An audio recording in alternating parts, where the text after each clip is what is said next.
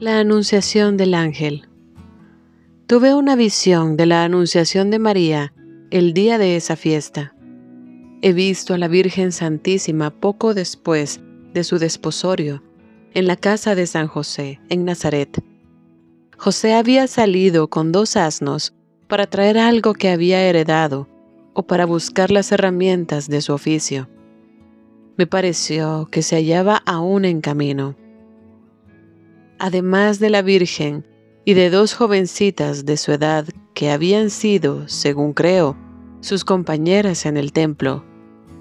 Vi en la casa a Santa Ana con aquella parienta viuda que se hallaba a su servicio y que más tarde la acompañó a Belén, después del nacimiento de Jesús.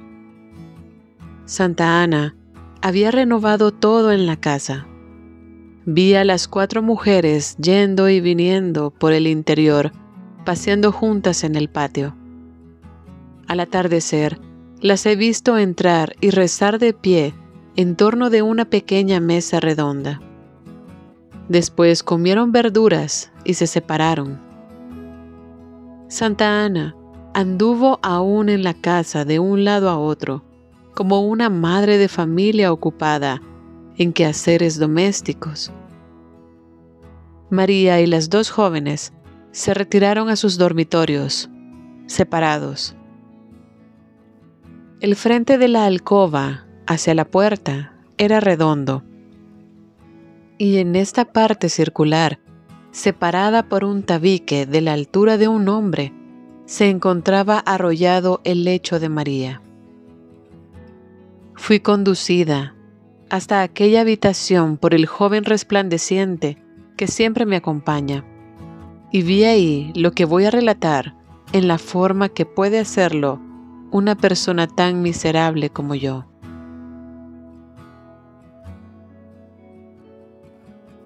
Cuando hubo entrado la Santísima Virgen se puso detrás de la mampara de su lecho un largo vestido de lana blanca con ancho ceñidor y se cubrió la cabeza con un velo blanco amarillento.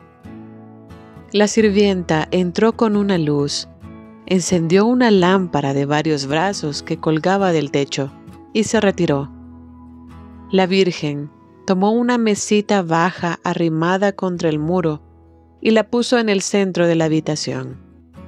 La mesa estaba cubierta con una carpeta roja y azul en medio de la cual había una figura bordada. No sé si era una letra o un adorno simplemente. Sobre la mesa había un rollo de pergamino escrito.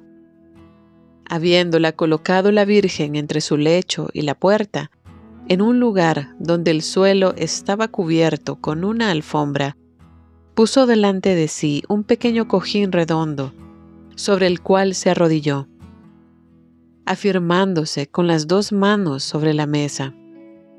María veló su rostro y juntó las manos delante del pecho, sin cruzar los dedos.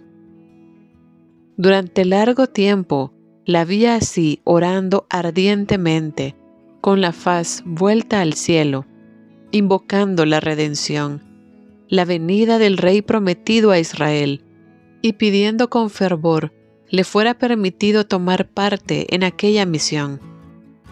Permaneció mucho tiempo arrodillada, transportada en éxtasis. Luego inclinó la cabeza sobre el pecho. Entonces, del techo de la habitación bajó, a su lado derecho, en línea algún tanto oblicua, un golpe tan grande de luz que me vi obligada a volver los ojos hacia la puerta del patio. Vi en medio de aquella masa de luz a un joven resplandeciente, de cabellos rubios flotantes, que había descendido ante María a través de los aires. Era el arcángel Gabriel. Cuando habló, vi que salían las palabras de su boca como si fuesen letras de fuego. Las leí y las comprendí. María inclinó un tanto su cabeza velada a la derecha. Sin embargo, en su modestia, no miró al ángel. El arcángel siguió hablando. María volvió entonces el rostro hacia él, como si obedeciera una orden. Levantó un poco el velo y respondió. El ángel dijo todavía algunas palabras. María alzó el velo totalmente, miró al ángel y pronunció las sagradas palabras. He aquí la sierva del Señor, hágase en mí según tu palabra. María se hallaba en un profundo arrobamiento.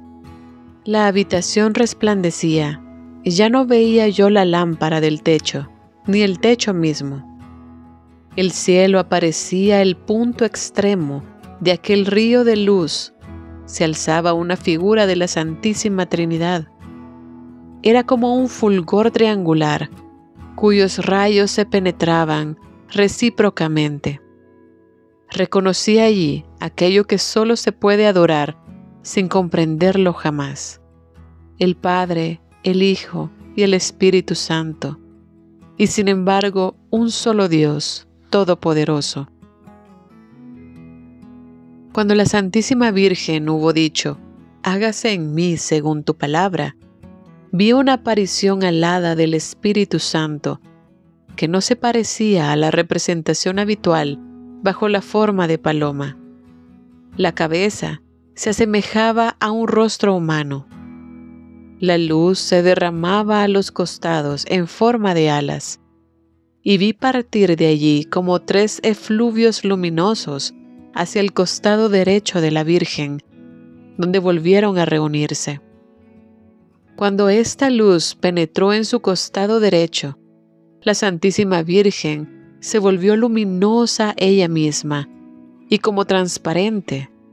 Parecía que todo lo que había de opaco en ella desaparecía bajo esa luz, como la noche ante el espléndido día.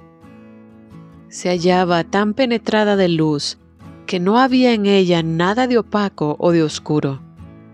Resplandecía como enteramente iluminada. Después de esto, vi que el ángel desaparecía y que la faja luminosa de donde había salido se desvanecía. Parecía que el cielo aspirase y volviese hacia sí la luz que había dejado caer. Mientras veía todas estas cosas en la habitación de María, tuve una impresión personal de naturaleza singular. Me hallaba en angustia continua como si me acechasen peligrosas emboscadas, y vi una horrible serpiente que se arrastraba a través de la casa, por los escalones hasta la puerta, donde me había detenido cuando la luz penetró en la Santísima Virgen. El monstruo había llegado ya al tercer escalón. Aquella serpiente era del tamaño de un niño con la cabezota ancha y chata, y a la altura del pecho tenía dos patas cortas membranosas, armadas con garras, sobre las cuales se arrastraba, que parecían alas de murciélago. Tenía manchas de diferentes colores, de aspecto repugnante. Se parecía a la serpiente del paraíso terrenal, pero de aspecto más deforme y espantoso. Cuando el ángel desapareció de la presencia de la Virgen, ésta pisa la cabeza del monstruo que estaba delante de la puerta, el cual lanzó un grito tan espantoso que me hizo estremecer. Después, he visto aparecer tres espíritus que golpearon al odioso reptil echándolo fuera de la casa. Desaparecido el ángel, He visto a María arrobada en éxtasis profundo, en absoluto recogimiento. Pude ver que ya conocía y adoraba la encarnación del Redentor en sí misma, donde se hallaba como un pequeño cuerpo humano luminoso, completamente formado y provisto de todos sus miembros.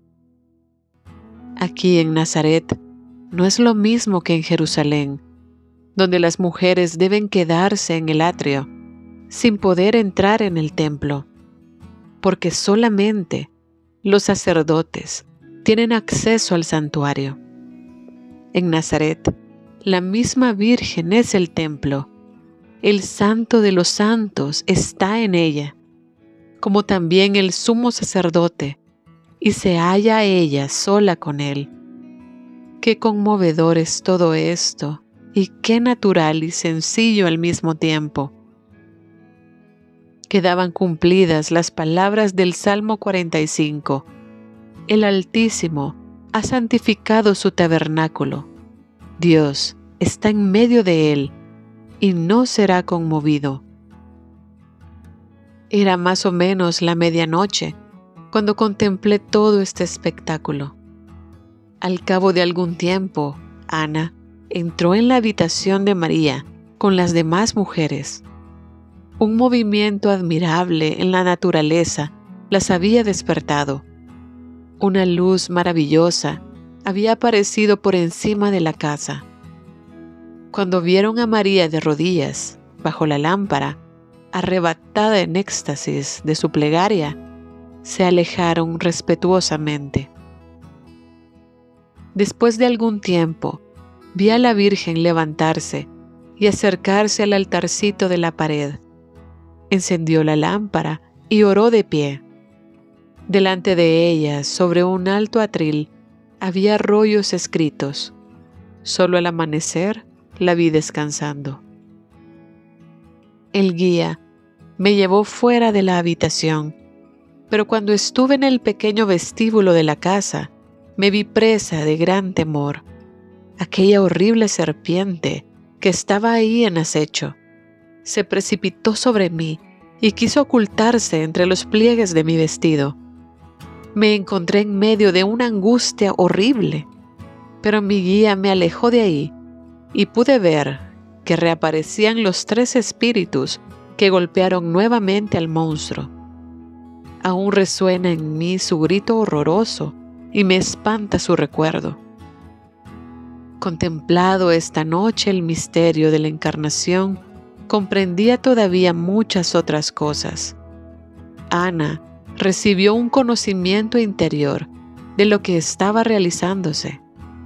Supe también por qué el Redentor debía quedar nueve meses en el seno de su madre y nacer bajo la forma de niño.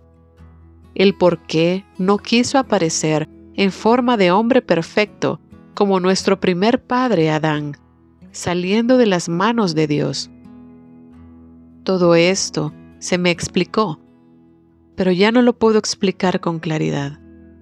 Lo que puedo decir es que Él quiso santificar nuevamente el acto de la concepción y la natividad de los hombres, degradados por el pecado original. Si María se convirtió en madre, y si Él no vino más temprano al mundo, fue porque ella era lo que ninguna criatura fue antes, ni será después. El puro vaso de gracia que Dios había prometido a los hombres, y en el cual Él debía hacerse hombre, para pagar las deudas de la humanidad, mediante los abundantes méritos de su pasión.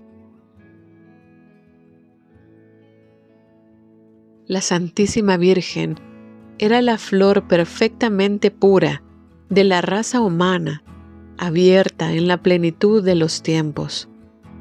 Todos los hijos de Dios entre los hombres, todos, hasta los que desde el principio habían trabajado en la obra de la santificación, han contribuido a su venida. Ella era el único oro puro de la tierra. Solamente ella era la porción inmaculada de la carne y de la sangre de la humanidad entera, que preparada, depurada, recogida y consagrada a través de todas las generaciones de sus antepasados, conducida, protegida y fortalecida bajo el régimen de la ley de Moisés, se realizaba finalmente como plenitud de la gracia. Predestinada en la eternidad, surgió en el tiempo como madre del Verbo eterno. La Virgen María contaba poco más de 14 años cuando tuvo lugar la encarnación de Jesucristo. Jesús llegó a la edad de 33 años y tres veces seis semanas.